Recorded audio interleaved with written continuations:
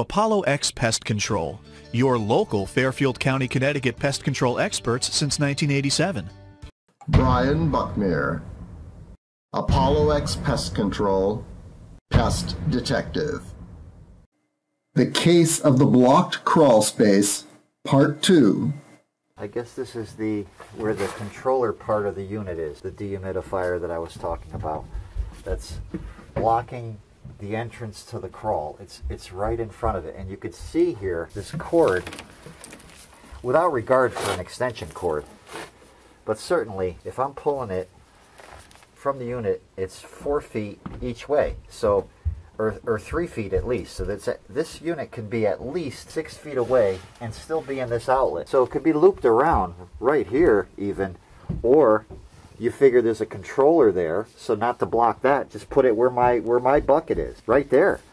And that's that's what I'm going to do. The only problem is is there's a discharge there that goes to the sump pump which they could have they could make the size that they wanted. So I don't even know if I could move this thing. So I guess the the installation company could come out here and put it where it belongs and I'll just climb over this. Yeah, see, this this is the discharge that goes into the sump pump.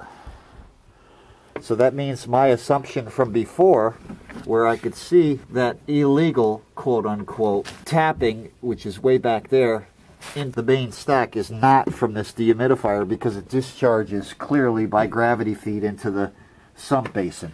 I wonder if that's just the condensate pump for the air handler and that a plumber has to be called in to move that. They need to move this, preferably over to here, not blocking this unit, right here. And then at least if there's a discharge on the floor that people have to be careful of, it's certainly better than having to hop over that unit. Let me see if I could trace on this pipe that discharge. I, I assume it is the condensate pump for this air handler.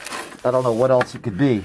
So that's the, that's just got to be capped off and put into a, a, a regular plumbing trap. If you have a pest control need, whether it's ants, spiders, mice, bees, termites, bedbugs, or if you simply want to prevent annoying infestations.